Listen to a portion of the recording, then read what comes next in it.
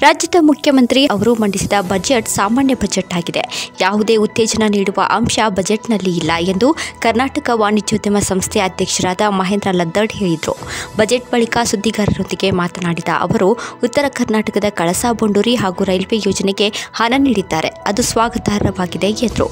ಧಾರವಾಡಕ್ಕೆ ನಾವು FMCG corridor ಕೇಳಿದ್ದೇವೆ. ಅಲ್ಲದೆ ಇಂಡಸ್ಟ್ರಿಯಲ್ ಕಾರಿಡಾರ್ ಕೇಳಿದ್ದೇವೆ. ಆದರೆ ಅದು ಆಗಿಲ್ಲ ಎಂದು ಅವರು ಹುಬ್ಬಳ್ಳಿ ಧಾರವಾಡ ಮಹಾನಗರ ಪಾಲಿಕೆಗೆ ಹಣ ನೀಡಿಲ್ಲ. ಇದೊಂದು ಸಾಮಾನ್ಯ ಬಜೆಟ್. ಯಾವುದೇ ಉತ್ತೇಜನ ನೀಡುವ ಅಂಶ ಬಜೆಟ್ನಲ್ಲಿ ಇಲ್ಲ. ಇದೊಂದು ಸ್ವಾಗತ ಮಾಡುವ ಬಜೆಟ್ ಕೂಡ ಅಲ್ಲ. ಹಾಗೆ ರಿಜೆಕ್ಟ್ ಮಾಡುವ ಬಜೆಟ್ ಅಲ್ಲ ಎಂದು ಅವರು ಹೇಳಿದರು. Big TV news Hubballi.